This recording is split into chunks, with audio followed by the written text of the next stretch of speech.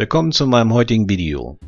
In diesem Video möchte ich ein paar Fahreindrücke einer Monterey 218 LC 5,0 Liter mit 240 PS vorstellen, die sich nun mein bekannter und jetziger Stegnachbar gekauft hat und wahrscheinlich sehr viel Spaß und Freude damit haben wird. In diesem Sinne, ich wünsche euch auch viel Spaß dabei und wenn es euch gefällt, würde ich mich über einen Daumen hoch sehr freuen. In diesem Sinne, bleibt gesund. Ciao,